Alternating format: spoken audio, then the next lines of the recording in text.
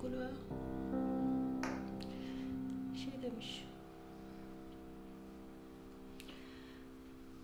Bir gün babamla oynarken babam kilodumu çıkardı. Parmağıyla canımı acıttı.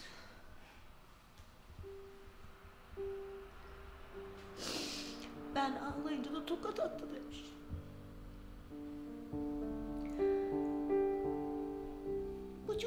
Daha yedi yaşında. Yavruydu.